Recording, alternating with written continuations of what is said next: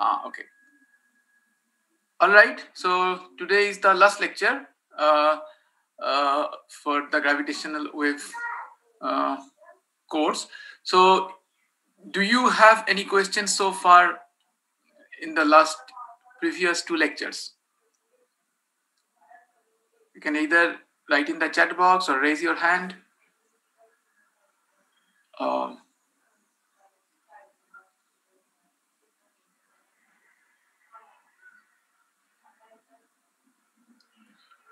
okay. So today's lecture will be uh, uh, more about uh, what is in the future of gravitational wave astronomy. Um, so let's get started.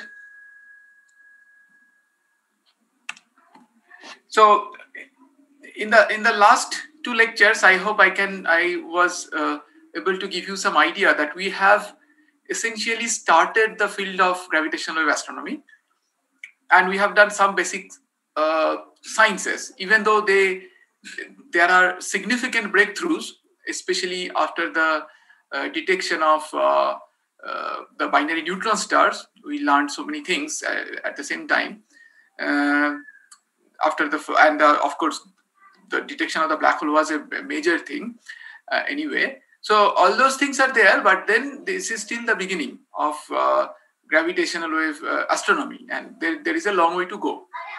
So, what are the possible signs that we could do with it? So, I already mentioned in the last lecture the possible uh, science potential of the uh, of this new field.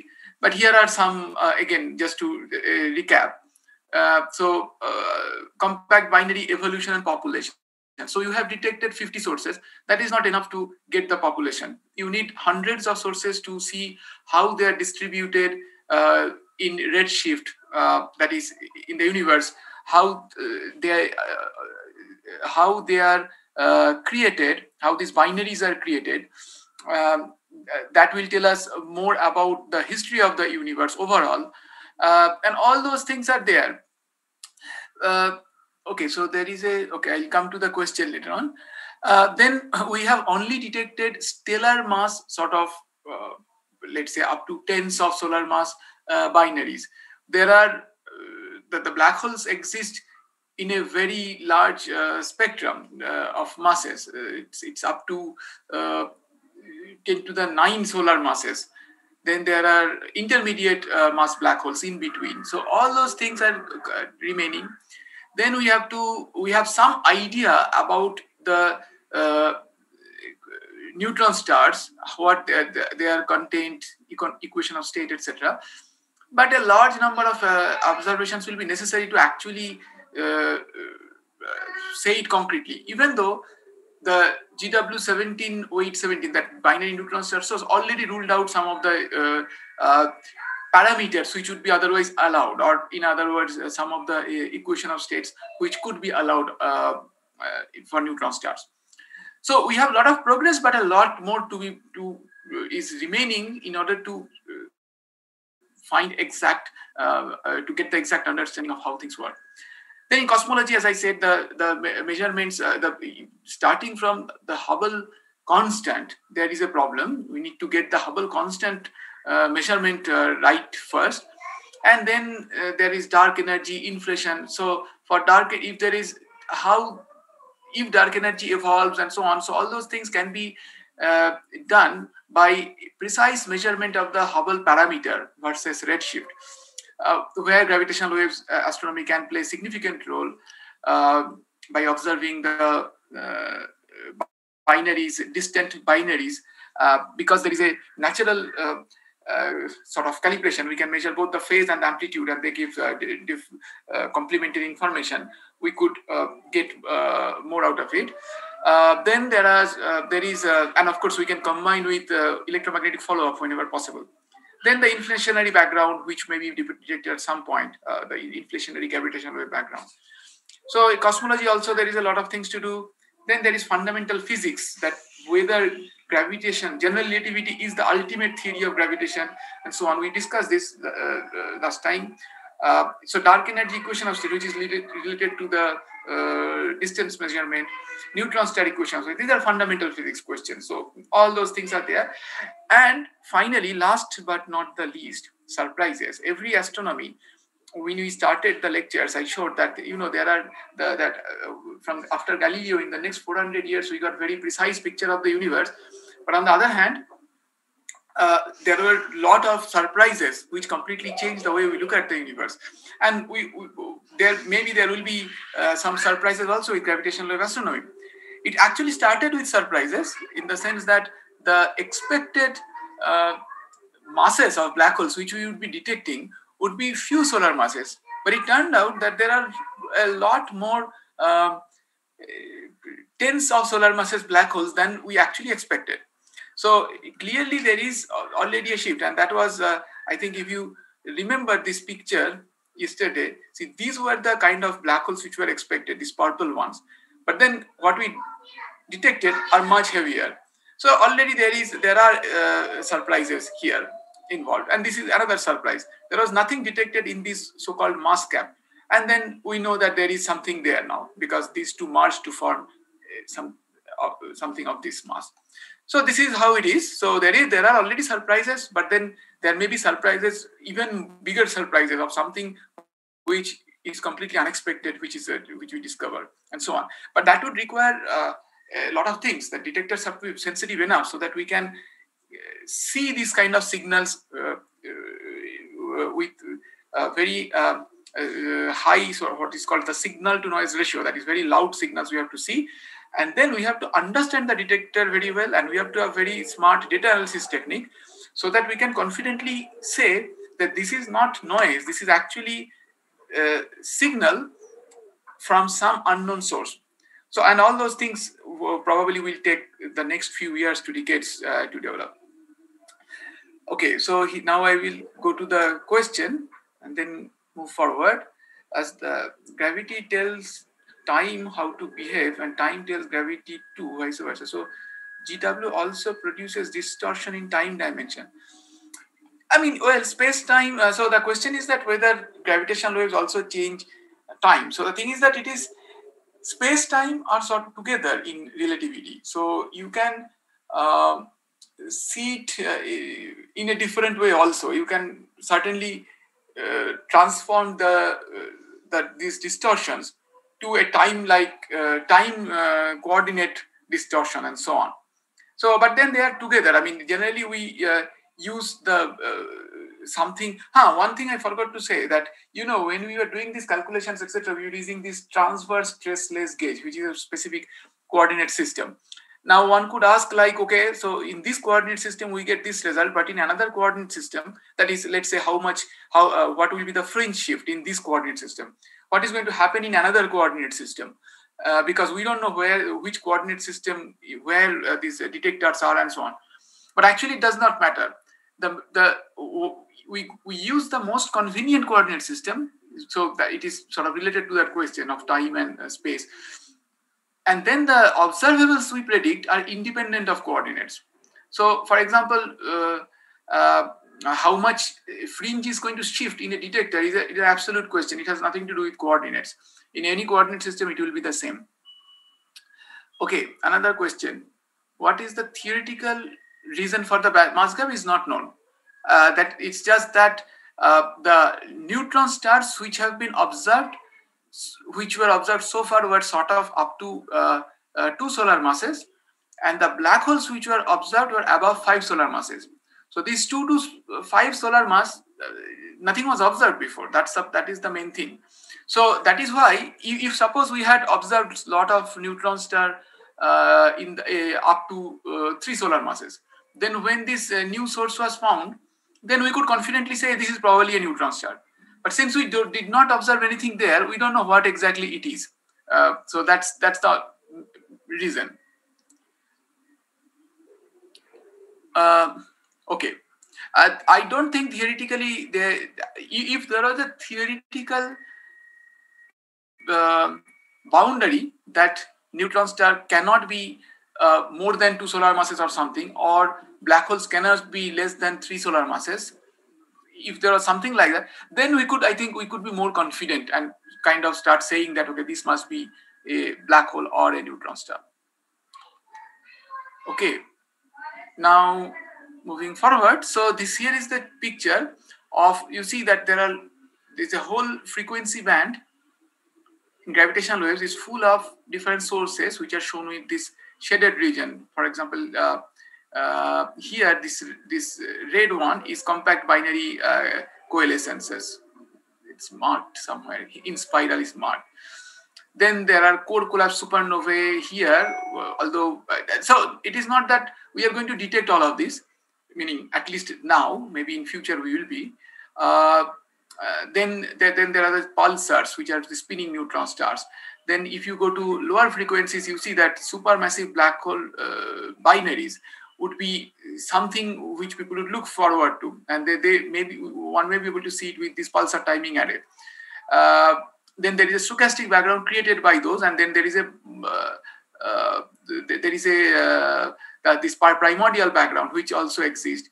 Then in the mid frequencies, there are extreme mass ratio inspirals where a super a small stellar mass black hole may be going around a supermassive black hole and all things like that. So all those things are there. And you see that there are these black lines which show different kind different uh, observatories and missions which have been proposed. And people are working on those. And so so you can see that the future is quite promising uh, so far i mean right now we are observing only in um, in this uh, advanced LIGO band somewhere here and with uh, limited to only this frequency bands. We are and we have only observed like few dots here, like, uh, meaning few transients. So there is this whole window, a whole set of windows are remaining. Okay, so ideally what we want to do is something like this. So uh, these are the picture of the sky, pictures of the sky in different um, electromagnetic bands, starting from radio, that is from lower frequencies, to uh, gamma rays. Okay, so this is like, as you can see, the sky looks very different in very different uh, frequency bands. Ideally, we would like to do that with gravitational waves also, but we just don't uh, uh have the technology right now. And that, that is what we have to look forward to in the future. Right now we have some transients in this band. That's what i was talking about. And then so to reach from this to this could take decades to maybe even 100 years. Okay. And just to in another words that we are here and we this is where we have to go it's a long path. It took 400 years for electromagnetic astronomy, but then technology uh, can evolve faster, and then we know already a lot from electromagnetic astronomy and so on. So maybe uh, progress can be slightly faster, but then we'll have to wait. Okay, so the for, so what are the uh, what people are actually working on for this transition to the next generation and so on. See, this was the initial LIGO, which did not detect anything. As I mentioned, only 2% chance of detection was there, and this was initial Virgo. Then uh, this, these operated I, till 2005. Then for the next 10 years, they were upgraded to the second generation detectors, which are advanced LIGO and advanced Virgo. This is the target sensitivity. You have not reached uh, that completely yet, uh, especially in the lower frequencies. So this is, and then there will be LIGO India also somewhere with slightly upgraded frequency somewhere here. Uh, this will be, uh, so this is where we are right now, and a lot of science can be done with this. But then, since these detectors took decades, basically, this took 20 years uh, almost to make, and then this is 10 more years. And then we are hoping that the, the, next generation, third generation detectors, that is Einstein Telescope Cosmic Explorer, will probably take uh, 20 more years. So you have to start the work right now, and that is the main aim. You have to find land because these are proposed to be very long detectors. So finding uh, flat land is not so easy. Going underground increases the cost. So all kinds of things are there. So we have to uh,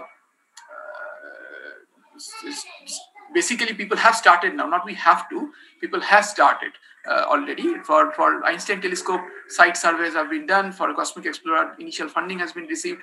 Uh, a, a, lot of uh, development is going on. So what we expect to see with this? So here is a nice way to look at this. So again these are the uh, this is the current sensitivity sort of. Okay maybe a little more here and this was the target sensitivity which we have not reached yet and this will be A plus sensitivity where uh, LIGO India will be and this is Cosmic Explorer factor of almost 10 difference. So what it means that factor of 10 difference actually means factor of 1000 improvement in the detection volume. So that we will be able to detect at least 1000 times more sources. In fact, uh, more than that because the, even the bandwidth also increases. It is not just uh, the sensitivity in the in this region increases. You see that here, this band also goes quite a bit close to uh, uh, few hertz. So right now, let's say we are here, and we are we observed in this uh, region till the second observing run of LIGO. And probably with uh, when LIGO India comes online with all the detectors, we will reach this part, A plus, this green circle here. And sort of green circle, this green dashed here. So what happens is that that means we may be able to see quite a bit few black hole binary mergers with the current uh, uh, with A plus. But then, as you can see, there are uh, mergers going on up to quite a far away distance. And then the neutron stars are almost not uh, remained untouched for the whole dense region. And this is the these are the uh, binaries which are going to tell us about hubble constant because this can be followed up. Black holes don't emit any electromagnetic counterpart.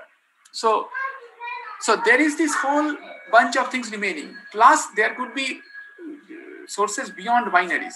Those things are also there. So it is quite, uh, so you can see that we are right now in a very quiet place in the uh, universe. We have observed only in the region which is almost empty. We, I mean, our reach was very much limited. And why it is in, uh, increasing is not because we are in some special position of the universe. It is simply because the universe was much denser at earlier epochs that is at higher redshift. See, this is redshift 1, this is redshift 2. So each of these circles represent one redshift. Okay, so here is a question. Um, uh, again, you should ask the question to everyone so that other people can also see your question. Uh, why are characteristic lines, that is various detectors, in strain noise versus frequency plots? Well, that is the uh, best way to see it, right? I mean, this is it is anyway frequency dependent, so you have to show the frequency. And uh, the strain noise is it, it means that you cannot detect anything below uh, that strain noise, meaning the strain that you can detect has to be higher than that. And since in gravitational waves we are measuring strain, not just power, that gives us the advantage. Uh, because if you were uh, detecting power, it would uh, the the fall would be much faster. It will be one by r square. Rather, this is uh, since it is amplitude is one by r. So that is the main reason. Yeah. Okay, so this is how the, the, this these are some uh, sort of fantasy because the, nothing is uh, completely concrete but this is a plan for the Einstein telescope uh, in, in, Europe. This will be a 10 kilometer arm length uh, detector uh, this, uh, of this triangular shape, 100 to 200 meter underground. And um, the sensitivity will be one order of magnitude better than that is 10 times better than the present uh, advanced LIGO detectors. This is one of the designs. Um, there is a chance that this is what is going to uh, I mean, something similar will be implemented. So that's uh, that is a possibility. Now, what I told you in the last class is that somebody asked about uh, seismic noise, uh, that uh, why seismic noise is there in lower frequency, and I said that that is how, how it is. That seismic noise is higher at lower frequencies. So, if we want to detect lower frequency sources, we have to go to space. Now, this is one of those detectors, uh, uh, which is uh, called LISA. Uh, okay, there is a question. Let me see the question. Okay, let me first play this video. Then you will see how it goes. So it is basically a set of three uh, spacecrafts which will exchange uh, laser light and then follow the Earth. Okay, and that's that's how basically the idea is to measure the fluctuations in their distance uh, due to gravitational waves and this is another way to do it. And you will see how exactly it is done. Yeah. Uh, okay. Oh your hand is down. So uh, if you still have the questions please let me know. Okay. Yeah. So this is the plan.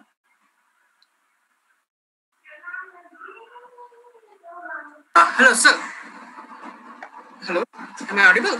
Yeah, yeah, I can hear you. Uh, thanks, sir. Uh, sir, actually, I was planning this question for a long time. I forgot to ask you before. Like, uh, what are the constraints that uh, that like uh, shortlisted our LISA satellites into three, and why not four or more than that? Uh, money. If you have money, then you can build any number. If you build anything less than three, then it is useless because exactly the three helps in localization of the point not yeah that is one part. Also you need uh, two independent detectors to uh, make a uh, proper claim for a detection uh, if you have one detector then if you detect something how will you know that this is noise and uh, this is not noise? But if you when you have three you can form independent sort of baselines to confirm that these are this is the i mean you can form basically three baselines let's say. And if three are detecting the same things or two of them are independent. Then uh, you can say that okay this is this is a real signal. So will these three be on their same position or will they just rotate on respect to their axis? Like uh, in the form are, of triangle? they are all in the in keplerian orbits these are all freely falling. That is freely falling meaning they are going around the sun just following the earth. So this is that this animation shows you that. You see that what what is so this is how they are going to go. The Earth is going around the sun, and these three satellites are just going to follow the Earth. There will be small micro thrusters which can slightly change their positions, and that they have to do to create something called the drag-free environment. Uh, so that they don't want to. Okay, I'll tell you what exactly it is. So this is the uh, thing. Yeah. Is that was your question, right? Exactly. Exactly. Thanks. Thank you. Okay. There is one more question. Go ahead. Neil. Yeah. So my question is related to Junix question, uh, an extension that if we have three satellites for LISA, then how do we get more than one baseline? Uh, so, so see two two satellites. So you, you can imagine.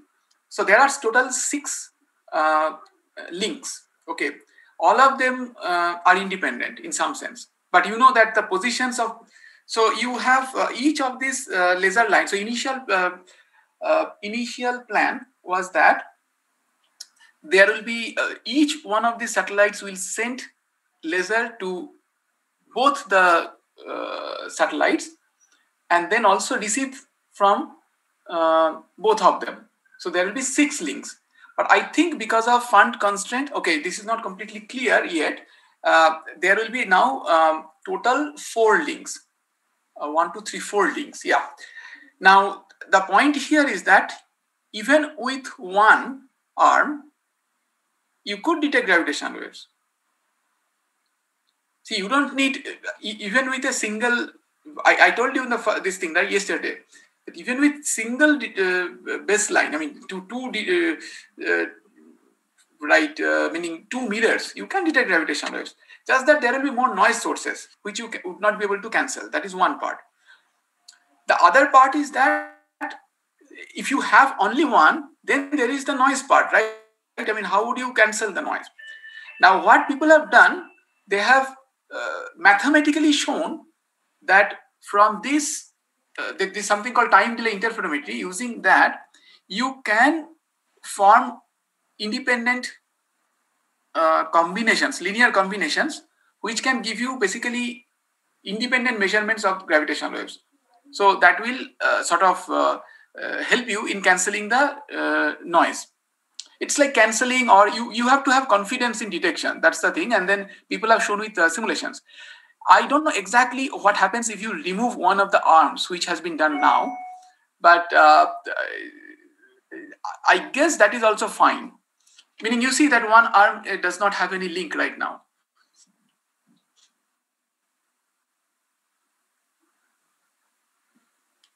Yes, sir. So, but uh, in LIGO, uh, generally we have two arms uh, so that noise reduction happens, and then the other LIGO is placed at a different location so as to make sure that uh, the signal is actually not noise, but there is a correlation between the two detectors.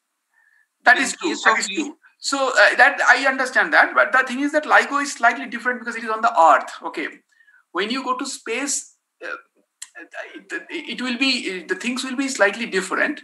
Uh, the thing is that okay, I have to check exactly if there are uh, people are expecting glitches there in in uh, LISA. I mean, for example, in LIGO there are uh, you know a train passing by or uh, some uh, uh, earthquake somewhere. Those things will matter. Here, that may not matter. The main thing is that you have to somehow cancel the laser frequency noise, which also is can uh, uh, gets cancelled in LIGO because of this uh, particular combination.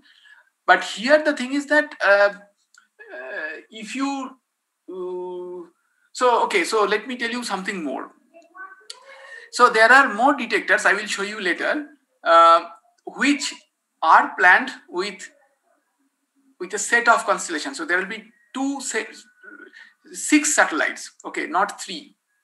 That is being planned. That is one part. Second thing is that it is not just LISA which is going to fly. There is one more Chinese mission that is also aimed for the same time, which is called TianQin. Now, the question is that whether uh, there will be some noise source which can create a. Uh, okay, one more thing. So, what LISA is going to observe is our very long duration signals. That is, the, the signals can last for. Uh, so, see, the uh, signal band is millihertz. That means the period is hours. Okay. So there may not be any such kind of uh, glitches which is uh, which will be present there. But on the other hand, if you have just two, uh, then it may be very uh, tricky to. Uh, uh, I don't think you can actually cancel the laser frequency noise. You would not be able to cancel the whatever the laser frequency or phase noise that way. So you need main thing would be to cancel that noise. I because there is no ground motion. But I have to check that whether there, there, there, there are any other issues here which will be like LIGO, that you need absolutely two LIGOs to uh, detect it. Yeah. Okay, now moving on. So, so what has ha happened with LISA? So uh, there was a LISA Pathfinder mission which was uh, launched in uh, uh, 2015 and uh, basically the idea is that that there is a that we, we want to have these test masses that is the mirrors sort of in LIGO uh, free so that they can move when gravitational waves come now if the spacecraft uh, if the that uh, test mass is attached to the spacecraft then uh, there is a problem because then it is not completely free but then how do you keep the test mass in the spacecraft? So basically what has to be done is that the spacecraft has to keep a distance from the uh, uh, from the uh, test mass by sensing it in such a way that the sensing process does not perturb it. So this was a challenge, and then uh, and then the spacecraft has to sort of uh, uh, maintain distance with micro thrusters and so on, so on. So this was uh, very, uh, this passed the test very well. In fact, okay, I will skip this one. I can show this one. This was the requirement for LISA Pathfinder. This is the noise budget, that how much noise can be allowed. If LISA Pathfinder could satisfy this requirement, LISA, main LISA mission would be funded. That is, this will be a technology demonstrator. But not only LISA Pathfinder uh, uh, satisfied this requirement, it actually satisfied the requirement for, it did better than even LISA itself. So this was LISA's requirement and this was the actual uh, measured noise, which was way better than anything expected. And then people had no doubt, whatsoever, doubt whatsoever that uh, that this technology is viable. Okay, so what will Lisa tell us? So what one of the important thing, there are many things, of course, one of the important thing is that um, it will be able to predict the binary mergers in LIGO band. That is, uh, it, it, so the binaries which are merging in LIGO band are inspiraling at a lower frequency. So Lisa can see them, and then in uh, in the in the scale of like years to uh, let's say weeks, it will be able to say uh, when the merger is going to happen. However, as you can imagine, if there was a detector here in this band, that process would have been much uh, faster. That is, we would know much sooner when a merger is going to happen. And there are plans uh, for that also. Ha, so how, so there is a question that, uh, okay, there are more questions. Okay, let me see. Uh, does not the motion of the satellites affect the signal detection and how they reduce the noise like solar flares, etc. So all those things were, that is what the purpose of the the Pathfinder mission was to show that uh, this acceleration noise, this noise in the spacecraft satellites, do not affect the signal because it is ultimately detached from the uh, from the uh, main um, uh, from the test masses. But then, of course, some some noise get transmitted because you are const- constantly measuring the separation. And how, it, next question is how complicated to keep LISA stable without perturbation with outside objects. So there has been a lot of work, including in uh, uh, by Sanjeev Dhurandhar and so on. So they showed that if you keep the uh, plane of the satellite at 60 degrees in that orientation, which is shown that the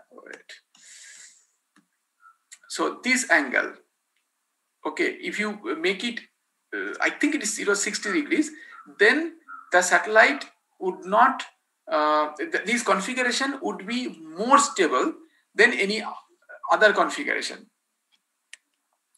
so this is the thing. So you can then rotate on this plane also. So this is this is one axis, then it rotates. So that is it is a three-dimensional picture is there. So people have worked on this that how to make things more stable, etc. Okay, now there is one more interesting thing that can happen uh, with Lisa is that so this is a nice simulation which was done by Steve Drasco and so on to show what happens when a small black hole falls in a bigger black hole. So you watch till the end and let me know if you don't hear the sound because the sound is important. And you see here it says days before merger.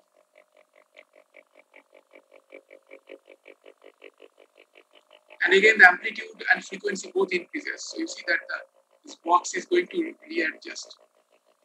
Uh, the, the, the black hole orbit is shrinking, so it is going to reduce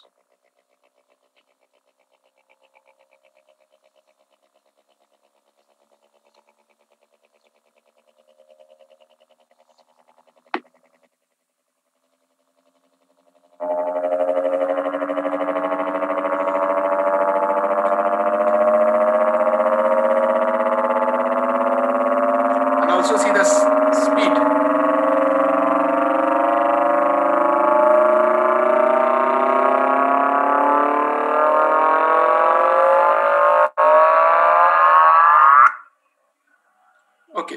hope you heard the sound.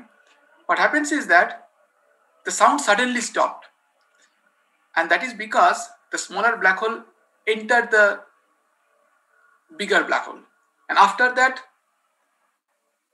there will be ring down signal, which is very small because there is only a small perturbation on the um, black hole.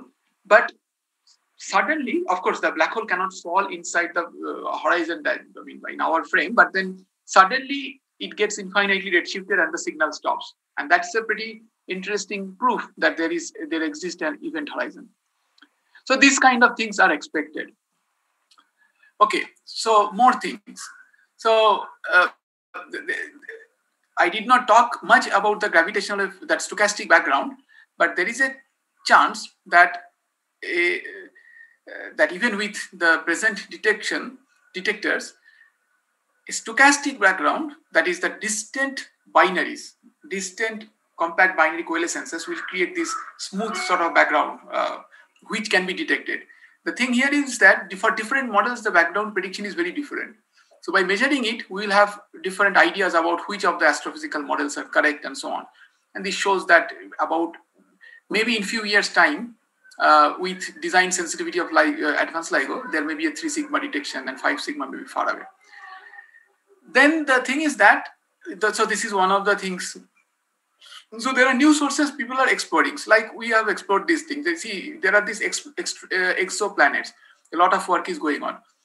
Now, if we if you see the total uh, amount of signal that is that can be created by exoplanets going around the uh, stars is like this and this is LISA sensitivity curve. Now already you saw that the, the, LISA Pathfinder already did pretty well uh, better than LISA. So if LISA sensitivity curve comes here or with a future detector, we may be able to see this.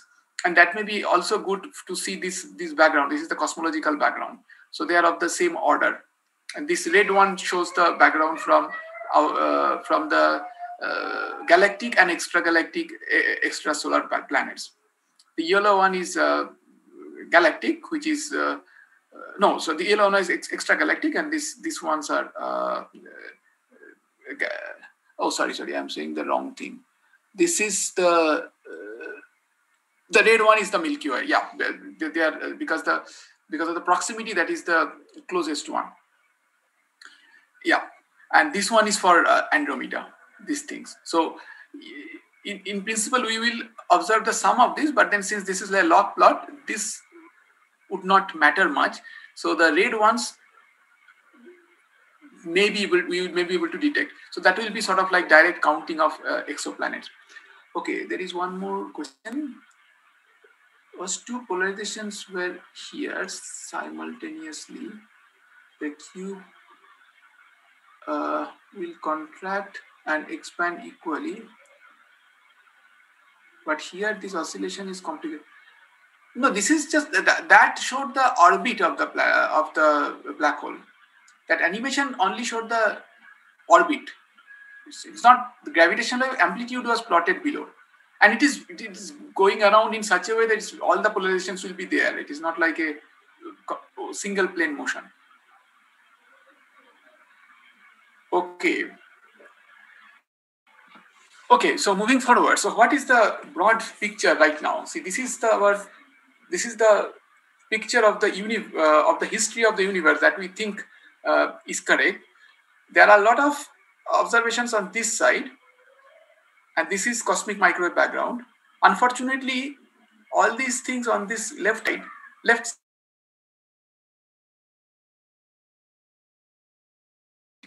because we don't have a direct proof of anything like this.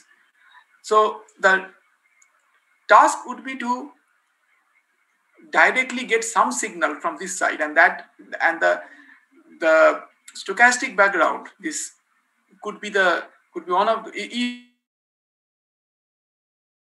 some signatures also on the cosmic microwave background polarization so that will be one way to look at it. But there will be possible there can be direct detections also i briefly mentioned that. And also you know there are gaps in cosmology as i mentioned that the, this whole cosmic pie we, we only know part of the ordinary matter and everything else is unknown right now here for example this is the same thing that uh, inflation you see if you plot the uh, expansion of the universe this time and you will see that this is kind of the uh, current expansion rate a large portion of the uh, expansion happened during cosmic uh, inflation. And again, we have no proof of that. I mean, it is even though it sounds like a very short time, it's a significant part of the expansion actually happened here. So there are major gaps here, so which has to be filled, and that is you, that is where many of the future researchers uh, will work on. And of course, people recognize this, and there are all kinds of experiments which is going to try to probe this inflationary gravitational wave background. Uh, we don't have any mission here. There was this mission which is called Big Bang Observer, which was proposed. And again, because of funding and so on, this thing is, of course, uh, not in the horizon anymore. But there is something called the DECIGO mission.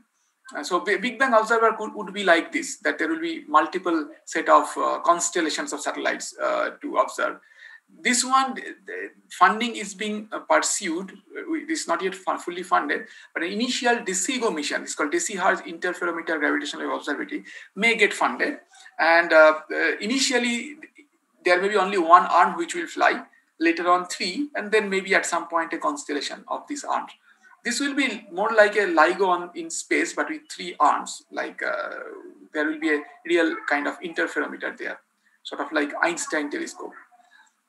Okay, so coming back to our current um, aims, um, so our present aim would be to first thing would be to get LIGO India operating because we, we, we talked about several decades scale. So now let's come back to the near term goal of let's say about five years, where uh, the first thing would be to get our LIGO India so that we can do very basic things of localizing uh, sources and follow up. So th- these are you see this is the sphere and these are the inner circles of some of the detections with two detectors okay and you see that as soon as Virgo detector was online. The error circle reduced significantly. Even this is pretty big but it's a pretty big reduction. And if during the first detection ligo india was online the error circle would shrink from this green to this small thing. And that would be very much important. And this is another three detector detection. That is 2017 onwards, you see that the error circle have reduced when three detectors were able to observe. So, but we need even further reduction. And this is because of this reason that with two satellites, you can only locate something on a ring on the sky. That is, these are the ring, those rings. They are cut because the because of the antenna pattern function. That is, the detectors are not um, able to see every direction equally well. That's why there is a some partial thing. So somehow, somewhat, the disadvantage that detectors cannot see all the directions come to an advantage of uh, localizing the sky. But that is actually obviously a bad thing. It's not. it's a. It's a uh, two negatives making it positive sort of thing. So uh, if we had three detectors, then we could uh, uh, see it we could see the I mean, we could localize the source very well and that's why we need three in fact probably preferably LIGO India is that this is actually the Earth seen from the pole. This is the pole. This is America. This is India. Uh, this this part is India, and you can see that the distance between two LIGO detectors right now is like 10 milliseconds. That is 3,000 kilometers. With Virgo, it is a bit more, and if when there is LIGO India, there will be three more baselines compared to three right now. And two of them will be very long. Okay, so that will give us quite a bit of uh, a high resolution. And also, as I said, the, the, the, there is a chance that the sensitivity of the LIGO India detector will be comparable to the two other uh, LIGO detectors, which is uh, which will be pretty uh, significantly big, big, uh, good advantage. Yeah, go ahead. So these baselines would they be penetrating through the earth, or would they are they calculated on the surface? No, this is through the earth, but there is no actual baseline. I mean, it is it is just the distance. It is yes, sir. Just have to sit on the earth. That's all. Okay. Okay, so yeah, so this is another way to look at it that uh, that the, the area of these uh, triangles from right uh, with three detectors increase significantly when you include uh, LIGO India. Okay, anyway, so coming back, so what is the ultimate result of this? that if you had this uh, uh, Hanford, two detectors in Hanford, one Livingston and one in Virgo, then the error circles will be this big on the sky and they are basically for most part of the sky they, you cannot follow them up with electromagnetic telescopes because they are the it will take probably i don't know weeks to cover. And then you by the time you reach the cover the whole uh, uh, error circle the source has died long back because the source is not going to stay for a very long time. So you need a very small localization to actually observe the uh, immediate emissions and with LIGO India, this becomes the picture, much smaller error circles on the sky. And then it will be, it is still much bigger than the moon, by the way. These will be like 20 degrees or so on. The moon is uh, uh, what, one degree diameter, I guess. So it's much, much smaller, bigger than that. So you can see that in principle, we should have even smaller error circle. Now, yesterday, so there, then somebody was asking that how uh, that the, the, about the location of LIGO India. Uh, so, so that so the pri- primary site right now is uh, near Hingoli uh, in Maharashtra, which is not here, and these are the sort of earthquake zones. So this is in a low seismic activity region, one of the lowest. Even though seismic uh, earthquakes are not a uh, uh, big issue. The thing is that the detector only thing is that the detector goes out of lock for uh, uh, that is the resonance goes away and then you have to bring back the resonance etc for it will take some time one hour or maybe few hours. But the main thing is that the constant activity should be low. So the detector has to be the site should be chosen such that of course you don't want to get into a full uh, really size, size earth, high earthquake zone. It has to be as low as possible. But th- that is already you see a large portion of india is already like that now, uh, the thing is that it has to be far away from uh, locality so that the, the, the noise sources are much less, that is vehicle moving and so on. So the daytime, nighttime noise in LIGO varies quite a bit. Also the weekend noise and so on. But, but then it should be accessible. That is, if the airport, there is no nearby airport, then it is a big problem because how will the uh, foreign scientists visit that place. And these are all international collaboration. I mean, you cannot do anything alone. Uh, many countries together only can uh, do things. So uh, the, all these considerations led to some of the sites which were shortlisted, and then uh, this right now the uh, uh, best place. And there are many other parameters like rainfall, wind, etc., and so on. Uh, so, uh, and of course, by this requirement, the sites will be slightly difficult to live at, like either too hot, no water, etc. Because if it was otherwise, then people would be living there. Uh, okay, there is a question. Will LIGO India be internationally sponsored project or funded by India only project? LIGO India is, is funded by uh, Department of Atomic Energy and uh, Department of Science and Technology together. However, some of the com- there is an MOU with the uh, National uh, uh, Science Foundation (NSF) basically of the US. Uh, so some of the components of the optical components of LIGO.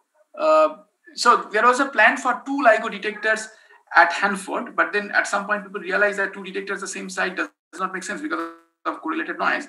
So those components will be given to India, but the uh, so which are also expensive, but the main uh, expenses of the vacuum tube, uh, installing the detectors, maintaining it, running it, all those things will be uh, uh, done by uh, India. okay. So uh, I mean, it is the, the, the challenge is like you get the components, uh, but then how do you install and then make sure that it reaches the desired sensitivity is a it's a huge uh, research challenge.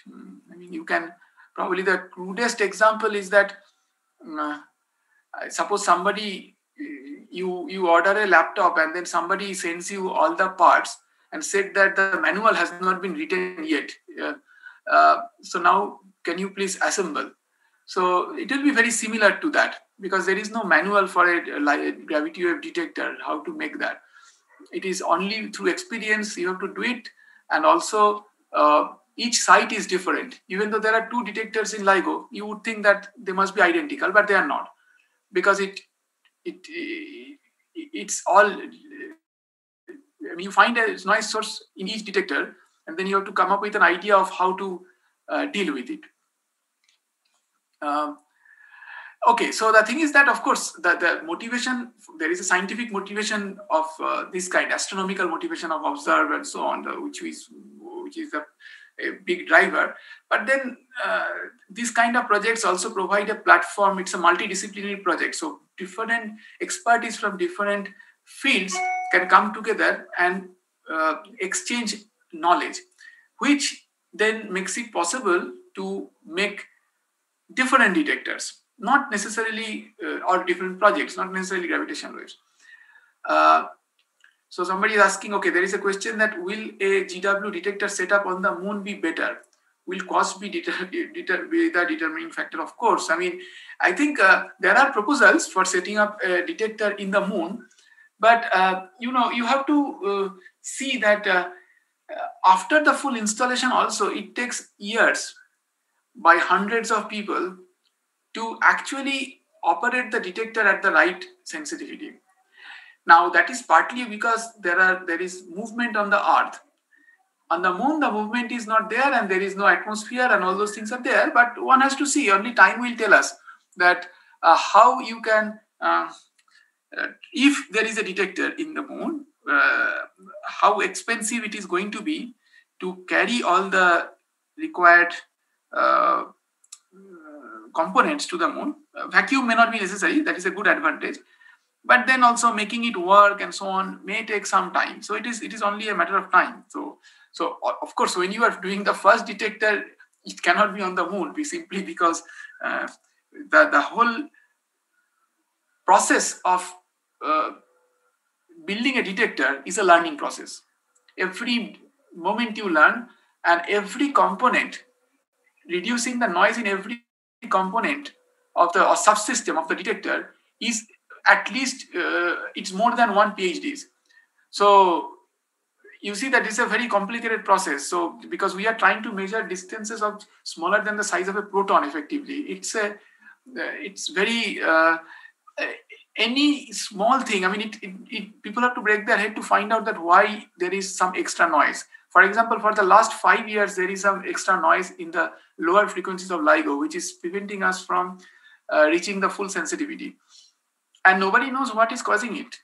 Different things have been are being tried. If such a thing happens in the moon, then I don't know how people are going to uh, sort that out. But then on, on the uh, positive side, there are chances of uh, different noise sources are less in the moon. So maybe it will be easier to uh, debug okay so so how do we build this platform of people to you know exchange ideas and so on so this IUCAA is uh, playing a lead role there so it's it's basically organizing it was organizing these meetings called ligo india the road ahead uh, uh, meetings where uh, researchers from very uh, prominent uh, institutions from india would take part and then they will say that what is their capabilities and then uh, what is and then some people will say that what is required for ligo india and see how people can contribute etc but of course because of this pandemic etc uh, all these things are uh, slowing has was slowed down but let, us see how it uh, uh, improves uh, in the future again and also you need quite high performance computing facilities there for, for LIGO data analysis and uh, so those things have also have been set up here at IUCAA. So this one of the uh, uh, so uh, fastest supercomputers are here. So which uh, meaning in, in India, and of course these are not like one short installation. They they get continuously upgraded in phases, and so these things are also useful.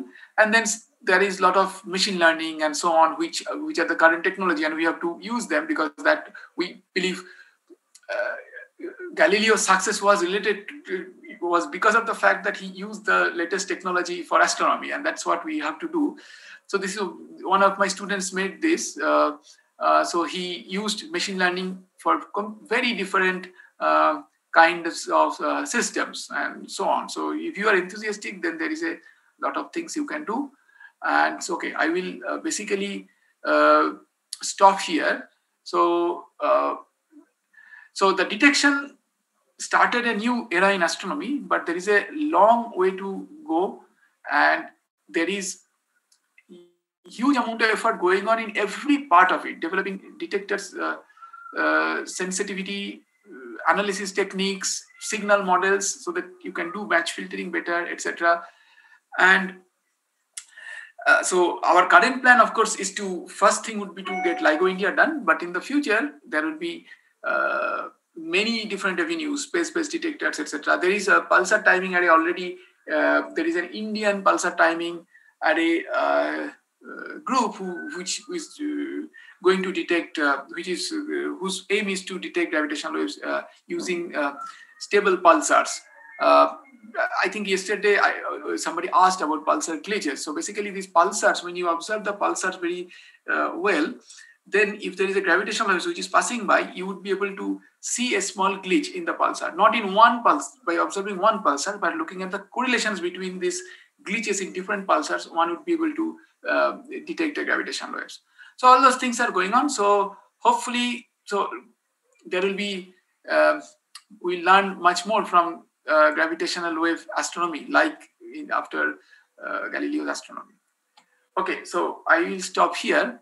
So there is a video which was made some long time ago uh, when we were just talking about LIGO India. In uh, so it was done in Caltech. Uh, uh, if you uh, so I can actually share the link here instead of playing it here. In your off time, you can uh, uh, you can play the video. Okay, I stop here. Now questions.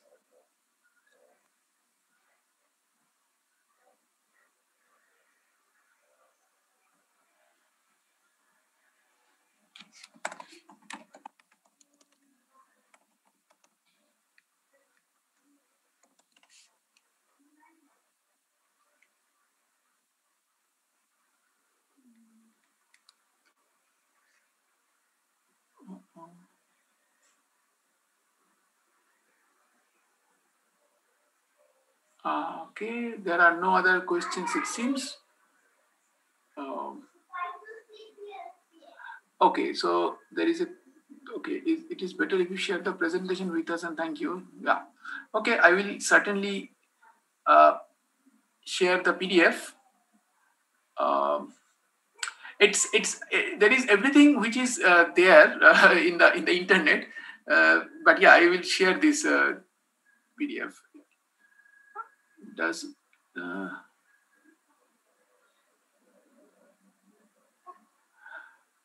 eh, so the, question is that does gravitational wave affect the atomic clock's readings?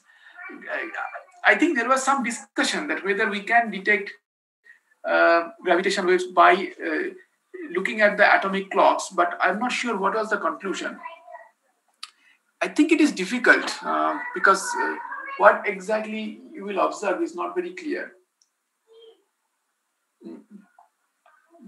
Of course, LIGO detectors have atomic clocks to for synchronization because otherwise you would not uh, be able to. Uh, uh, uh I mean, the, the the timings have to be uh, very uh, perfect so that we can do cross correlation and all those things. Okay, I'll just see if there is this uh, video, if I can find out.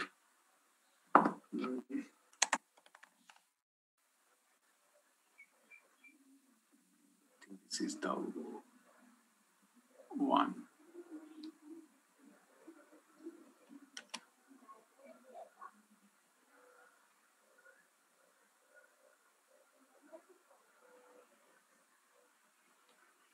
So this is, I, I shared this video every year because this was also done by the summer school students.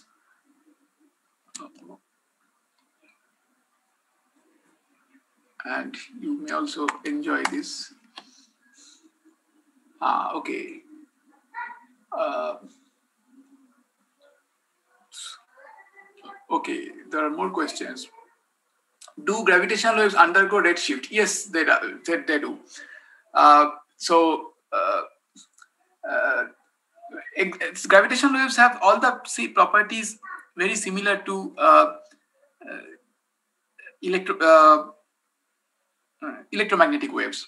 So they they have lensing, they go through redshift and everything. Okay.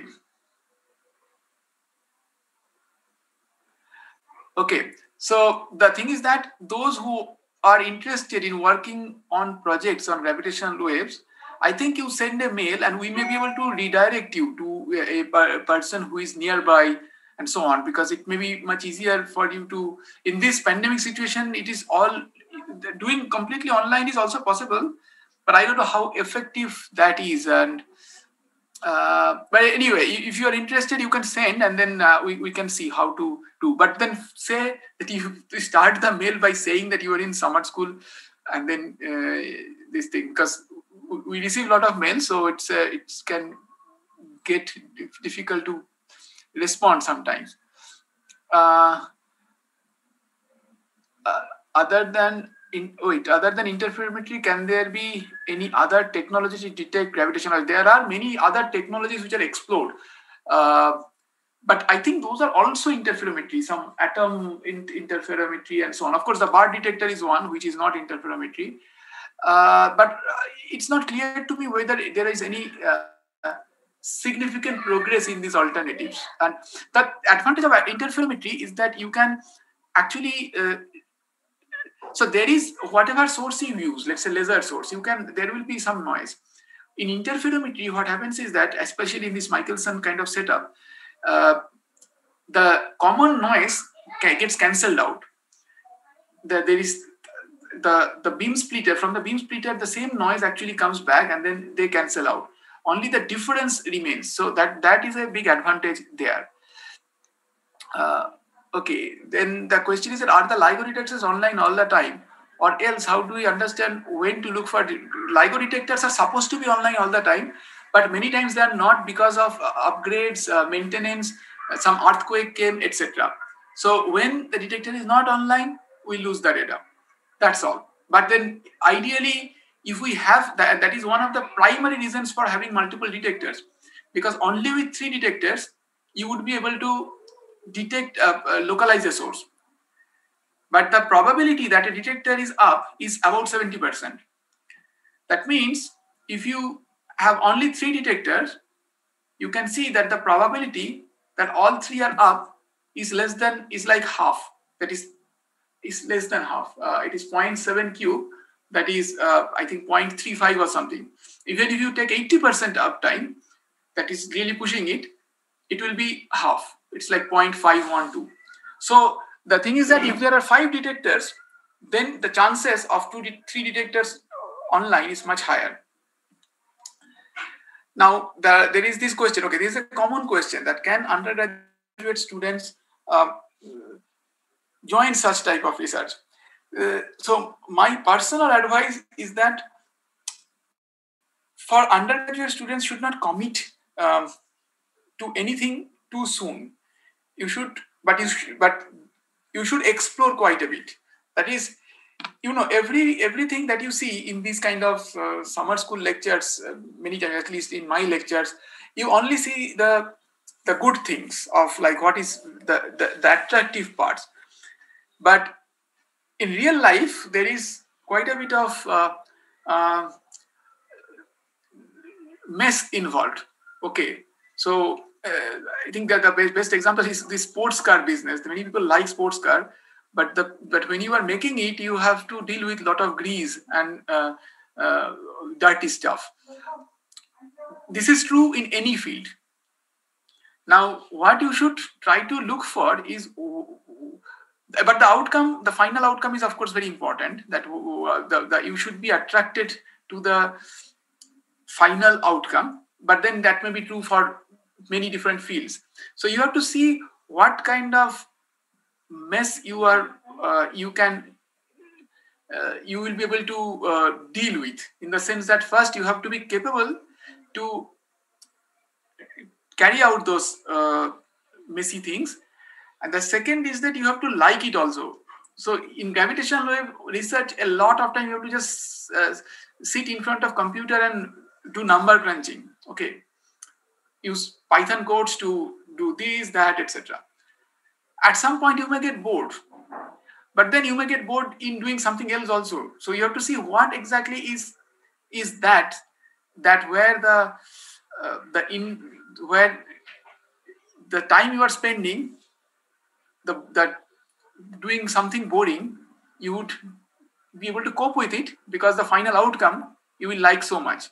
So that outcome this this balance you have to do and that is why it is important for young students to explore different projects and to figure out what you like. Nothing will be perfect. You will never find anything that, I mean, it is very,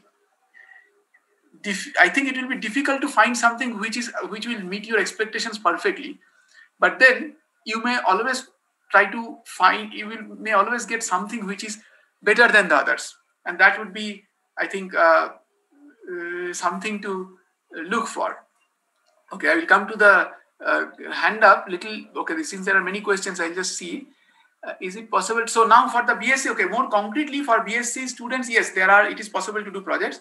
There are different kinds of projects which people at IUCAA has a big team LIGO uh, India team which is working on uh, this kind of things. And then uh, based on your expertise the projects are offered. Um, even online so that is the short response but then I was I, I'm trying to be more careful so that you don't end up wasting time in these pandemic like situations where things are a bit difficult. Uh, now, the thing is that IUCAA uh, faculty members can only offer PhD projects through the normal process of you get admitted to a PhD program, and that is highly recommended because then you are uh, you have much more uh, control on your life that you are not uh, funded by a specific person or a project and things like that. That is one of the important things you should uh, try out. If that does not work out because it does not work out for many people because competitive exams is it has its own um, uh, problems. So many people c- cannot do well there. So in that case you should find alternatives. I mean there, no system is perfect. So uh, competitive exams work for some people but don't work for some people. So that is also another problem. The usual uh, for, for general projects, of course, there is the procedure is to get into um, uh, uh, apply for uh, the, the, the program. I think you all have applied, so that is the usual procedure. There is this vacation students program also, which is not happening because I think doing a project online when you are sort of undergraduate student is not may not be that appealing. It is not just the interaction with the guide exactly for about the technical stuff that matters. I mean, it is also interacting with other people who are working in the institute, uh, having lunch with them. All those things actually uh, add together to give you a full flavor of uh, what it is. So, uh, but anyway, so that is we are hope we hoping that the situation will improve soon. Um, then the question is that uh, uh, so if you can you so those who are interested yeah i mean if you are looking for projects etc you can feel free to send us a mail we will forward you to the right person or we will see what can be done uh, with that i mean most many times we don't have much time but our phd students can help you uh, the observational time for GVW events drastically increases as we look at higher frequency regimes uh, can we get around this problem by reducing the observational time? Observation time, huh, it increases at lower frequencies. Lower the frequency, higher the observation time. So supermassive black hole mergers require more time to observe because the frequency is much lower. Uh, so you, you cannot reduce the observation time. It's then the signal to noise ratio will go down. So that's the problem. Okay. Mm.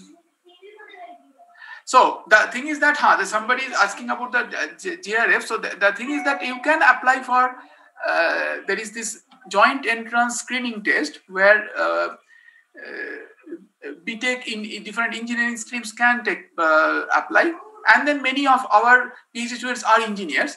Uh, and uh, IUCAA does take those students. I mean, they can you can register. Um, uh, IUCAA will take care of registration if you are an IUCAA student. I mean, that is if you can uh, come through the the, the standard uh, standard channels, that is JEST or uh, uh, the INAT, that is IUCAA, NCRA, uh, admission test, etc. Uh, those things we, we can, that is possible.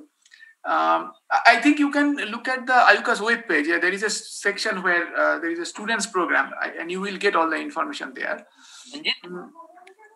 Uh, yeah. Hi, yeah. this is Santosh. Hi, Santosh. So actually, this kind of question we have a one uh, special seminar. Uh, uh sorry, say, session uh, this uh, today after the at three o'clock. Ah, okay, great. So then they can then people can all ask there the questions there. Is the possibility of the like getting in the astronomy astrophysics area? Okay, great. So then that, that is the best place to ask because then the, you can uh, uh, get more informed answers also that what will be the exact channel and how to do is at around 3.30 3.30 to 4.30 okay. Okay let me just see if there are any other uh, what kind of theoretical development is going on with research of gravitational i will answer that. Let me just check one more thing. Um, okay gravity okay fine. So these questions are relevant so i will just go do this thing. Just one second. Uh, there are solaces which provide theoretical and practical astronomy. Mm. Okay, so the thing is that generally, I will tell you that there are a lot of theoretical uh, activities going on uh, with gravitational waves. We it, it is right now the the searches that we are doing are highly limited. For example, uh, we we assume that the spins of the black holes are aligned with the orbital angular momentum. Of course, that's that's that need not be true. But the problem is that the, the uh, the computation cost does not allow us to go beyond that. Then there are all kinds of approximations which we have to use right now because the full waveform which you get after numerical simulations, you can get it for one or two. But then if we have to get it, get this what is called model waveform like templates uh, for two uh, nearly a million uh, parameters, parameter uh, sets, basically the combination of masses, spin, etc. It's not possible right now. I mean, there, there are all kinds of theoretical uh, activities, research which has to be, which is required for to do that. Then there are these higher harmonics. We are considering only the uh, quadrupole uh, these things right now. But if you want to go to higher harmonics, they, they, they give more uh, uh, information about the sources. You can disentangle different, de- break these different degeneracies, etc., parameter degeneracies. All those possibilities are there. Then the even just to detect a signal is, is, is basically a mathematical problem because it is not just that computers will uh, see computers have to be told to do something and computers are important but ultimately you have to write the come up with a mathematical uh, framework which you will feed to the computers. And those are all uh, uh, theoretical. Um, even computation is itself is theoretical. I mean, not just uh, instrumentation. Now the thing is that what that since LIGO is like is a project of very you know broad uh, uh, uh, like a multidisciplinary project, different kinds of expertise are needed in this project. So if you have some expertise, you should talk to one of the experts to see how your expertise can fit in uh, in the project, and the person will be able to uh, direct you. I mean, you can also talk to.